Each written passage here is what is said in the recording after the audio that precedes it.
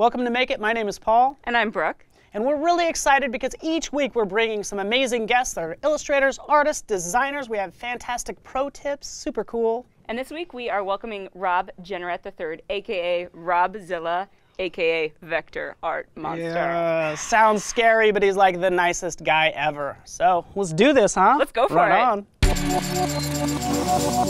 on.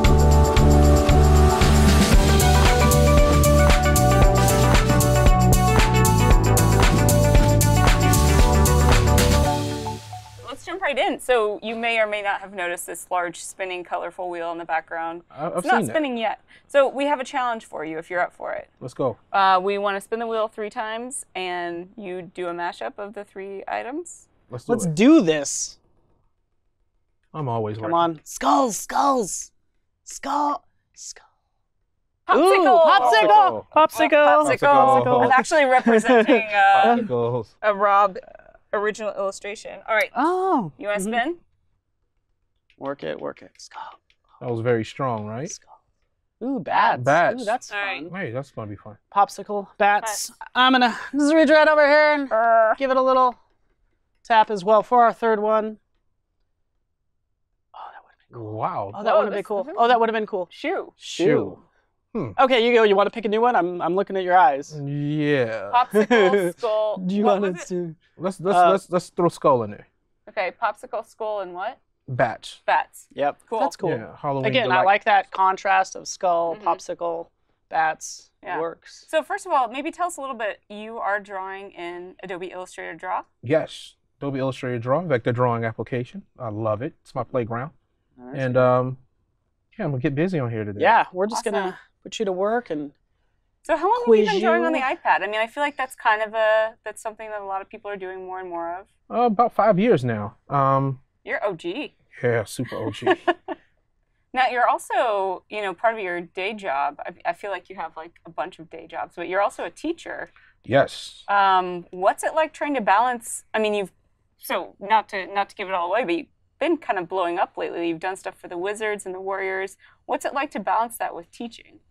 Um, it's kind of cool because I got my Clark Kent moments when I'm at work.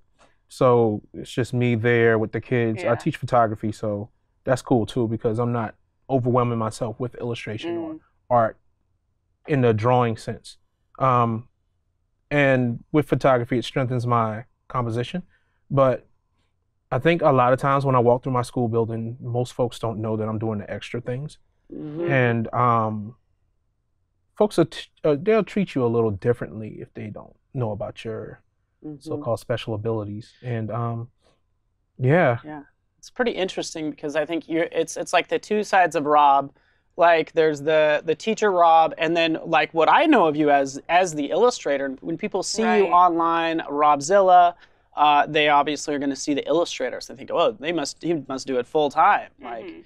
I'm sure it feels like full time some days, right? yeah, but it's a cool escape. Like I can jump from one world this to is the so next. world. fun. And again, just having summers off, you get to focus on potentially new things. I don't know what you're interested in in focusing on next. Like like what's Ah, the next phase? what are phase. you looking for? Yeah, I, I was dropping a couple of hints online, and um, what I'm really fascinated with right now is just animation. I want to make Oh. these vectors move Mhm. next. And I think that adding that little small dynamic, e- even if it's a little short, subtle movement, but to get them to actually move, because I guess the problem I was trying to solve all along is like, how can I get these stationary images to Mm. appear as though Mhm. they're moving, but not necessarily moving? Yeah.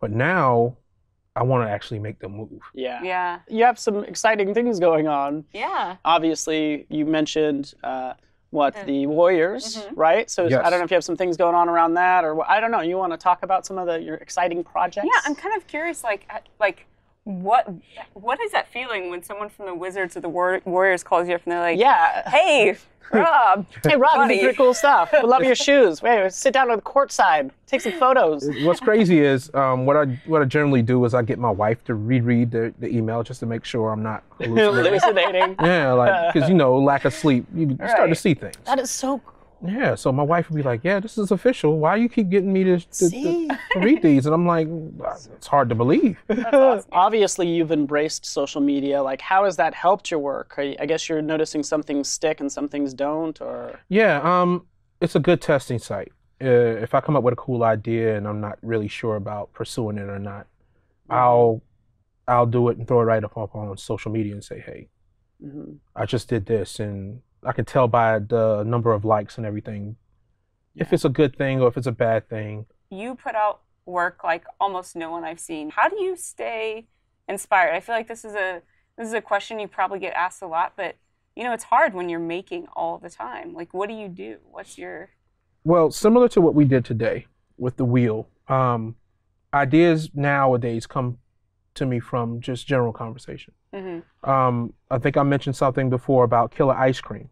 Mhm. And funny story about the killer ice cream was at Adobe Max, they have these little snack breaks. And there was just one guy who just ripped open his ice cream. And I Mhm. mean, like, consumed was- it, like, almost inhaled yeah. The ice cream. And I was like, yo, I just went by and tapped the young lady and was like, yo, he's Man, killing went the to ice cream. And she was like, yes, he just killed the ice cream. And I was like, killer ice cream. Killer ice cream. Nice. And throughout the whole day, he's just it's like, got a nice ring killer to it. ice cream. Killer ice Yeah. cream. So I went to go do my creative talk, and I didn't like the video that I had, the process video. So I took like an hour out to re-record the process video, but I drew ice cream with that the scoops were in the shape of skulls. Mm. Oh, And- nice. It was all based on my man killing the ice cream. Mhm. Mhm. Flipped around, it was killer ice cream, Yeah. Mhm. and I think we even started calling that dude every time we saw him. It was like, yo, go killer ice cream. Killer- what's about Yeah, just having ice cream? fun with it, like killer That's ice cream. nice. You're there. sort of just like taking things out of every day and and that's what yeah, is inspiring to you. And- kind of kind of the mashups. Yeah, being in the classroom, you see a lot of funny things. Yeah. And it's Oh, not just the students, it's also some of my coworkers. hmm Because some of them, they take the job a little too serious. and um, So, do you have any uh, techniques for people who are interested in in drawing, or any suggestions? I have these rules. There's four of them. And I mean, anyone can follow it with any situation that they're they're trying to do. But rule number one is, especially when it comes to art, never compare yourself to anybody else. If you get into the habit of comparing yourself, and a lot of people got out of art because they compared themselves, like around fifth grade. Um, unless you're doing the same thing that someone else is doing, you shouldn't be comparing yourself to them. So never compare yourself. Art is about expression. It's not about realism Mhm. all the time. Um, the second little rule that I like to tell folks is even though it's digital, you shouldn't be transforming the way that you do things just to suit digital. Do it in reverse. Make digital fit into what you're currently doing.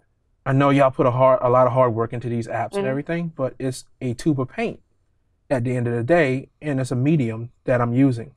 I almost got in the habit of transforming or re trying to reinvent myself to fit the tool instead of making the tool fit me.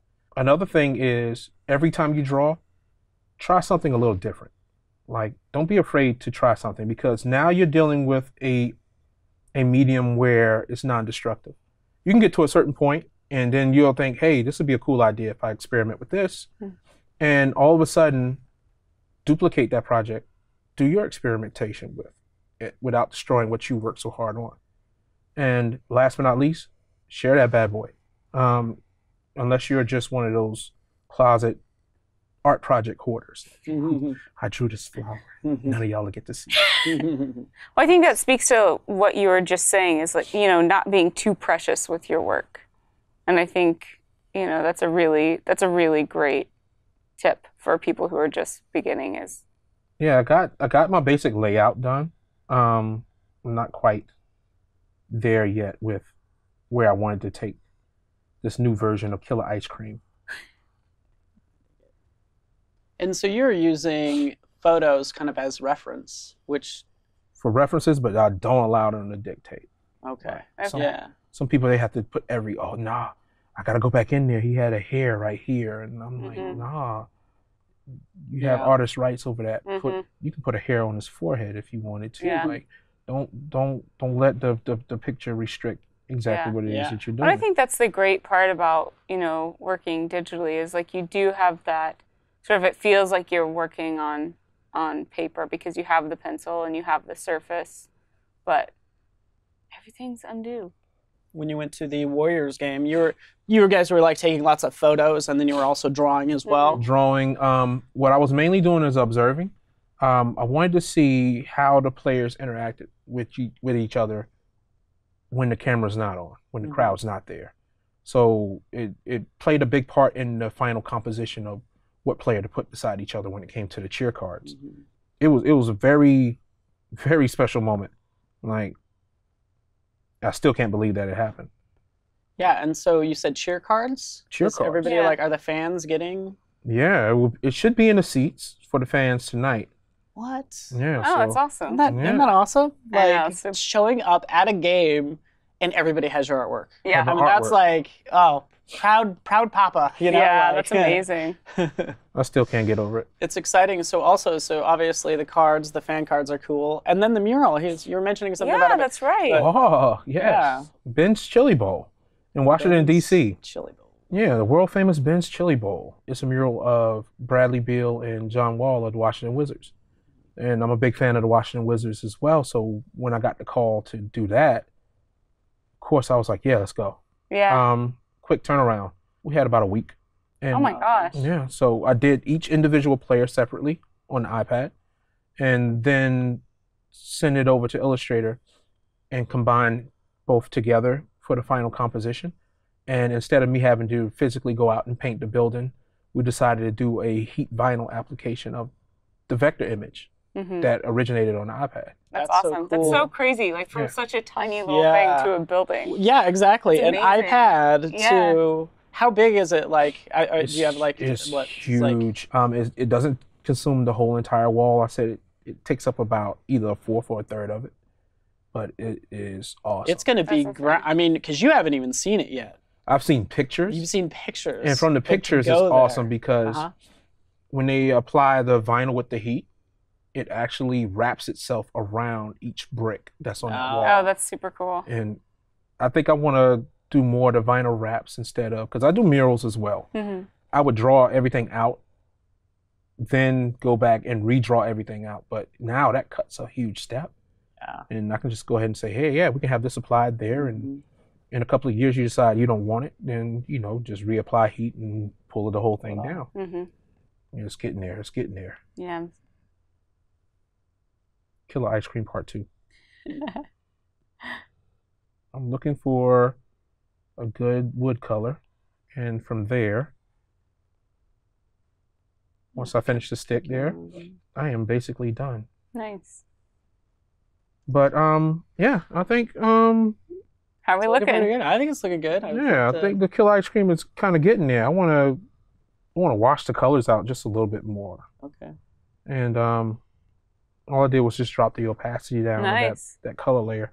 Can we Just a quick check it out? Beautiful. Yeah. Yeah. Do you mind if Can we take a look? we? Uh, There it is. You have to Oh, go full I'm screen super on that. into it. I don't know whether I should be inspired or super jealous. How awesome! I don't know. I just want a popsicle right now. So good. I want to go back in And and, rework the wings, but I think I think it's actually good. This is awesome. I'm digging it.